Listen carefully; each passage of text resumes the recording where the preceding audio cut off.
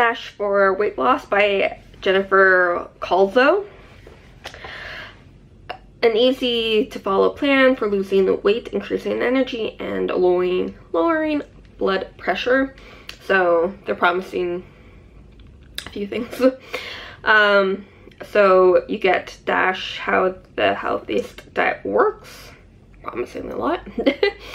um, Dash step by step, breakfast and smoothies, main dish um, salads, soups and stews, vegetarian and vegan menus, mains, not menus, um, lean meat, sauces, stocks, and condiments, snacks, sides, and desserts. So you get a few, you get like the generic type of categories that you would see in any other kind of cookbook.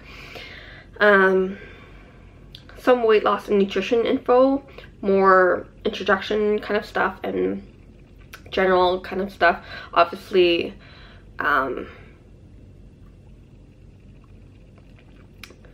like more um,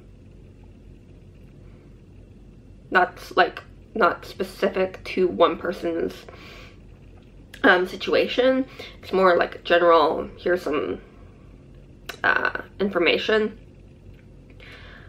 So, and uh, like uh, some other recipe books, um, when it gets to the new um, category of recipes, uh, it has a list of the recipes that are in that section. Um, so it's set up like any other kind of cookbook and um, it has like some tips and stuff. Um, so, and in like in the introduction, it has 10 easy ways to transition to the DASH diet for weight loss. Um, DASH foods and daily servings. Um, 10 ways to burn 100 calories in this little box here. Um, smart goals, like so the example there. Um, kitchen clean out. Um, stocking your kitchen with dash friendly food. Um, and some other stuff. Um, 10 9 tips for eating health healthfully on a budget. Um, so you get random types of information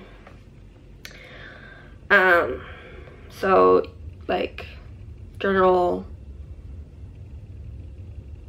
recipe setup. So like green apple pie protein smoothie, creamy peach quinoa, um,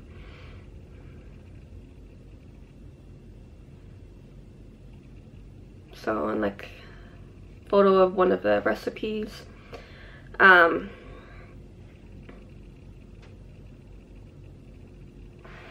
like they're similar to like the recipes in here are similar to like a few other recipes and other types of like vegetarian vegan keto type of books.